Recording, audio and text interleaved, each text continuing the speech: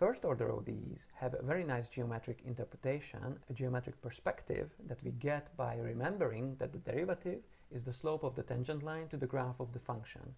Therefore, this equation is telling us that the slope of the tangent line to the graph of the solution y is f of xy. So looking at the xy plane and picking any point with coordinates x and y, we evaluate the function f at xy to get a number and that will be the slope of the tangent line to the graph of the solution y. That slope can be represented by a tiny line segment that passes through that point and has for slope exactly f of xy. If we do, do this for many points in the xy plane, we get uh, what's known as the direction field and this direction field is giving us an idea about the solution curve because any solution curve must follow the direction field. And therefore, the solution that passes through that point has to then follow these directions and we get the solution curve that you see there. Uh, these first order ODEs also have a very nice numerical perspective that we get by taking a small step size along the x-axis and approximating the derivative dy over dx by the difference quotient delta y over delta x. So delta x is the small step size along the x-axis and therefore the change in values of the solution that is delta y is approximately equal to f of xy times delta x.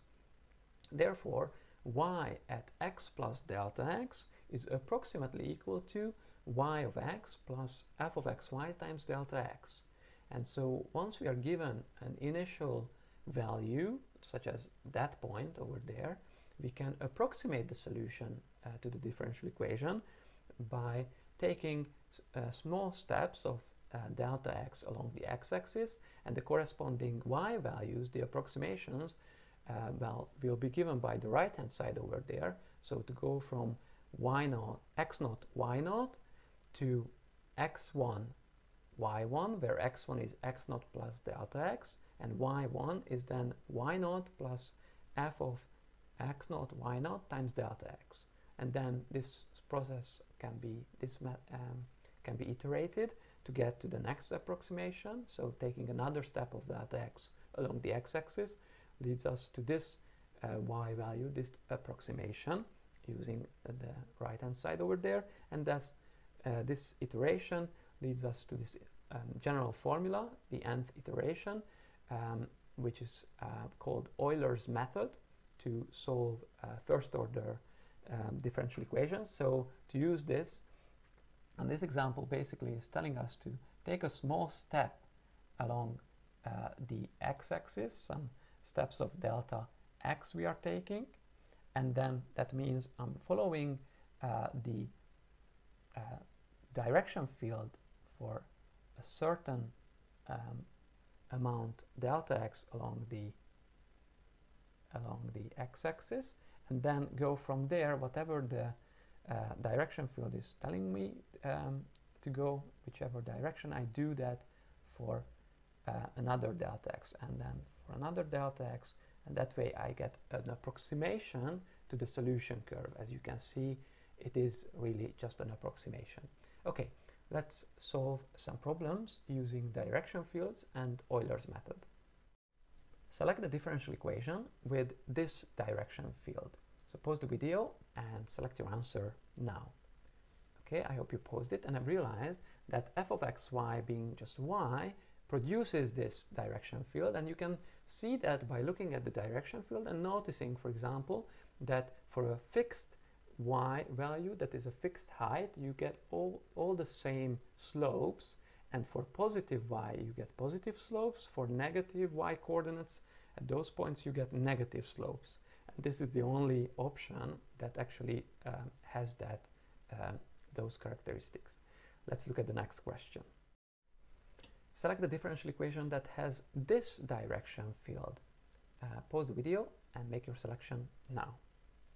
Okay, so this is the, uh, the differential equation y prime equals minus x over y that has this direction field. Um, and you can see that again by first noticing that along the y-axis where x is equal to 0 we have horizontal um, um, uh, slopes, um, ze zero slopes, horizontal tangent lines and so when x is equal to 0 we really get 0 um, only in this in this um, for this this option therefore this is the only um, differential equation whose direction field can behave like the one you see there. Let's look at the next question. Use Euler's method with step size delta x equals 0.1 to approximate y of 0.2 where y of x is the solution of this initial value problem.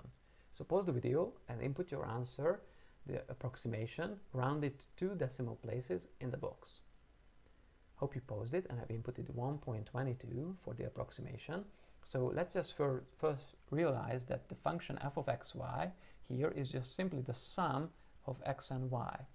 And so um, the step size delta x being 0.1 means that we start from the x value that is x naught equals 0 where y the y value is equal to 1 and this is by the initial value.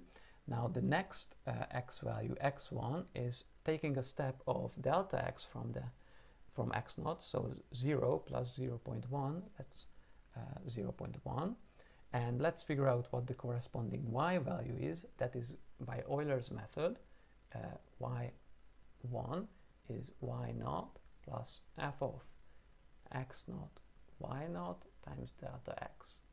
And that is um, 1 plus the sum of uh, x naught and y naught. So that's 0 plus 1 multiplied by delta x that is 0 0.1 so we have 1 plus 1's 0 0.1 so that's 1.1 that therefore y1 is 1.1 now we need y2 the next approximation taken, taking another step so x2 is then 0.2 and it's y2 that we are asking for. Um, um y2 is then, by Euler's method, is y1 plus f of x1 y1 times delta x. And that is y1 being 1.1 plus the sum of x1 and y1. So x1 is 0.1 and y1 is 1.1 multiplied by delta x that is 0.1. Therefore, we get 1.1 plus, in the parentheses, we have 1.2. This is multiplied by 0.1. And so that's 1.1 plus 0.12. And this sum is then 1.22 exactly. And that is the approximation of the solution y at 0.2, y2 um, is approximately 1.22. I hope you enjoyed this video and I'll see you in the next one.